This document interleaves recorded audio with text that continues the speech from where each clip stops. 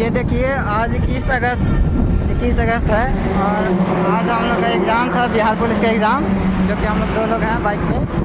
देख सकते हैं आज इस तरह से जाम हुआ है पूरा भारत में।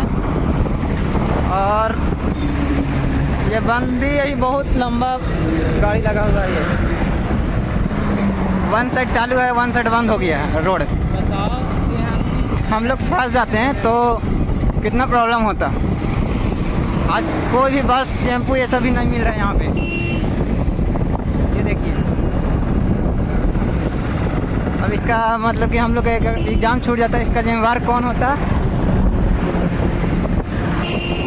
देख सकते हैं, बहुत दूर जाम लगा हुआ है ये।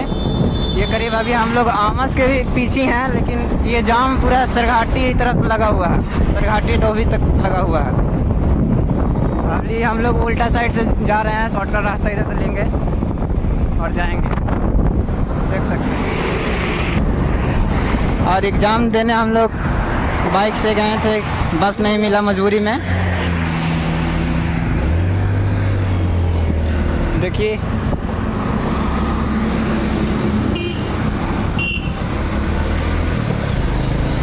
ये पूरा जाम यहाँ पे लगा हुआ है।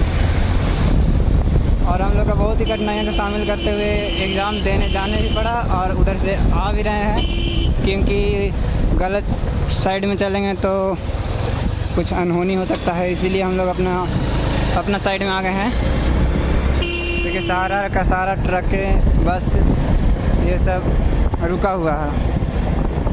और पूरा जाम है।